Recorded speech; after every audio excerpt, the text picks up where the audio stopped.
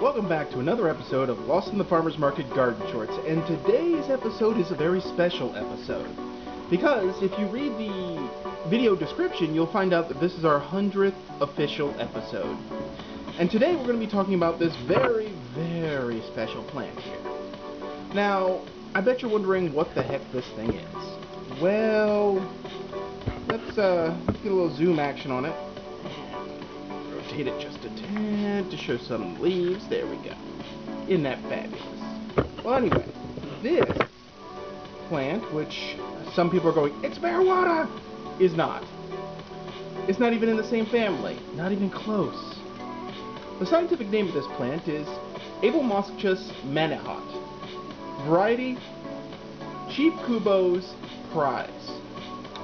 Now, its common name is South Sea salad tree, South Sea referring to the Pacific and Asia.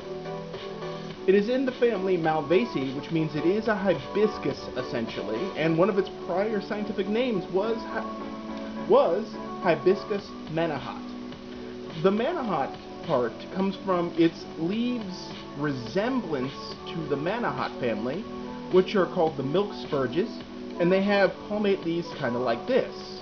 Okay.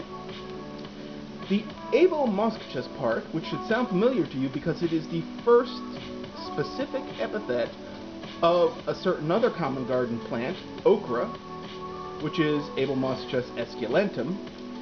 It comes from Arabic. It, the original word in Arabic means source of musk, which is a reference to the aromatic capsules that the seeds are carried in, or the fruit capsules which technically on okra you're eating the fruit capsules. And on this one, apparently you can eat them here too. So this is basically a quote-unquote tropical okra. Mmm. More than one type of okra? Oh, sign me up, baby. Now, it gets better than that.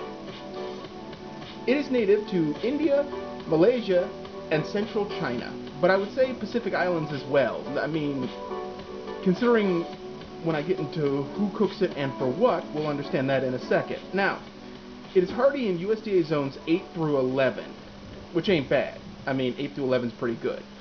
Though it's typically listed as a tropical and not actually perennial, it is perennial and it is herbaceous in our climate. According to the Cooperative Extension in North Carolina, it's perennial here. How about that? It just dies back to the ground like a bunch of other hibiscus that we know of. Well, it prefers a soil pH of 6 through 8. It likes full sun, though partial sun is acceptable. Mm. And by full sun, we mean 6 plus hours of sun. In my trials, I grew it in a 16 inch pot, and it got to about 12 feet tall and became a problem because it kept blowing over. Yeah, yeah, metacentric height is a, is a real pain in the butt sometimes. But anyway, its height can be up to 12 feet, though and a width of 3 feet. However, most documentation says 6 feet to 3 feet. I found out the other way that it's not, that it can get much larger. Now, I should point out that the soil it prefers has to be fairly packed with organic matter, fairly nutritious, but good on the drainage department. Real easy. But that brings us to some facts about this lovely 100th episode plant. so, it was previously known as Hibiscus manihot. We covered that. That's its old scientific name, so some of the literature may still have that. Its common names include sunset husk mallow, musk mallow, tropic jewel hibiscus. Ooh, I love that one. Tropic jewel hibiscus. It sounds all exotic. Or is that now a problematic word? I don't know. Anyway, Pests for this plant include the same ones that would attack okra, which is aphids, slugs, and whiteflies. Though in growing it here, I don't really see these problems. My okra does just fine. I didn't really get it on this plant, knock on wood, of course. Uh, the young leaves are edible, raw, cooked, and impart a mucilaginous compound for thickening soups and stews. It's much like okra, really. You cook it enough and it breaks down and it's not a problem.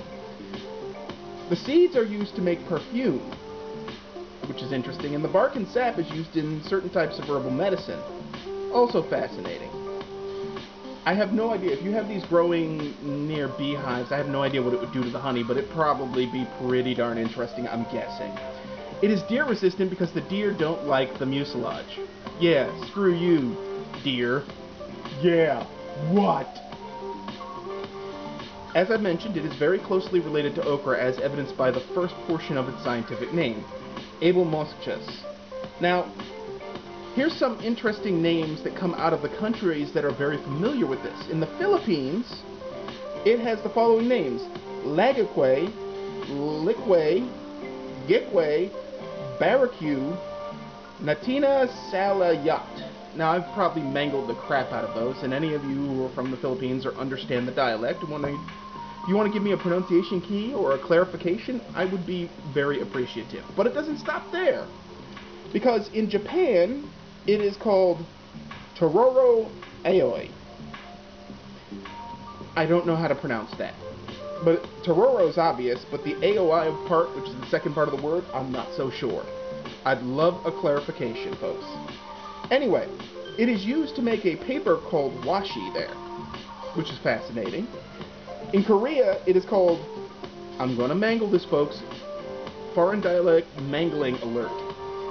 Hwang Chok Kyu. Again, if anybody's Korean out there and wants to clarify how to pronounce that, I would love it.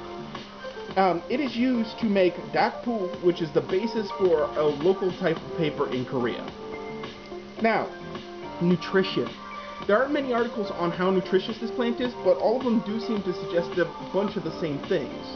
Specifically, that it's high in vitamin A, C, and iron, and has 12% dry protein.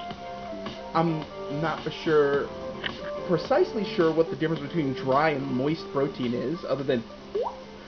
But, it's an interesting thing to consider. This plant is basically very good, good for you and healthy. And now that it I found out that it's a perennial, I'm just thinking of all kinds of groovy garden things to do with this plant. Yeah, yes. But anyway, that is South Sea Salad Tree, and that is our 100th video.